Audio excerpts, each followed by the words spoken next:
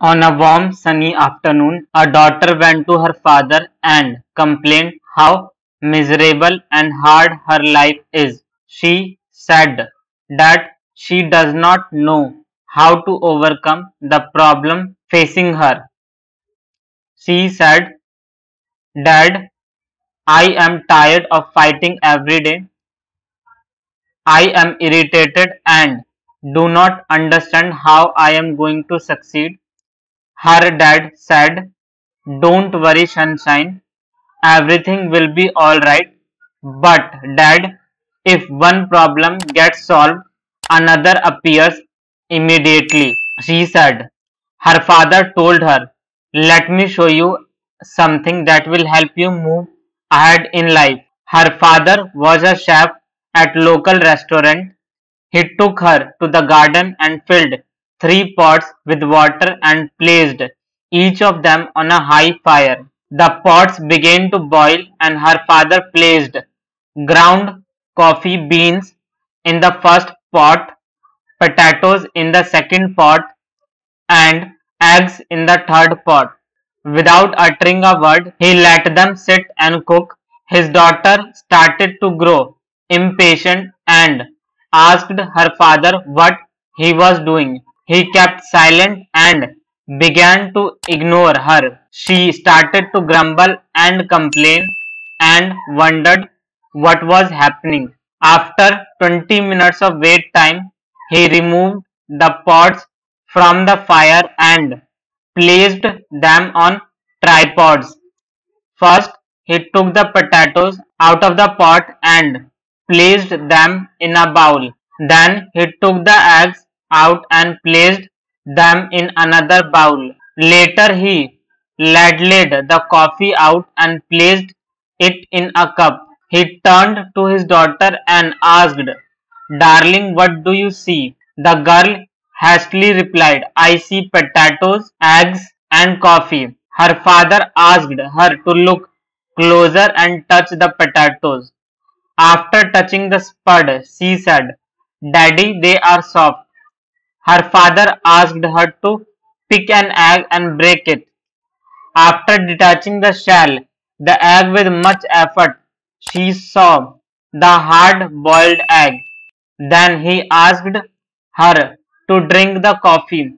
The rich aroma of the beverage made her smile. She was confused as to why her father made her do this activity. Seeing her bemused look, her father told her, You see, Buttercup, the eggs, potatoes, and the ground coffee beans faced the same adversity, that is, the boiling water.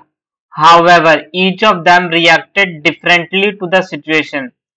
He continued, The potato was hard, strong, and implacable when it bent to the bowl, but in boiling water it became soft and weak. He further said, on the other hand, the egg was fragile and its thin shell protected its lovely liquid interior, but when it was put in the boiling water, the inside of the egg became tough as old boots. Finally, her father said the ground coffee beans were unique. After getting exposed to the boiling water, they changed the water and created something new. He asked his daughter, Tell me, which one are you? When calamity knocks on your door, how will you respond? Are you a potato, an egg, or a ground coffee bean? He continued, See, darling, will you be the potato that seems strong on the outside, but with pain and struggle Will you wilt and become soft and lose your inner strength? His daughter looked at him and did not reply. He told her, Are you like the egg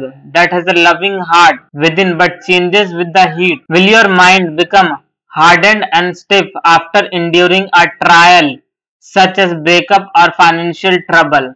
Will you become bitter and tough with a rigid spirit while retaining the same outer shell. His daughter began to understand the context of her father's speech. Her father continued, Are you like the ground coffee beans which release flavor and fragrance when the water gets hot?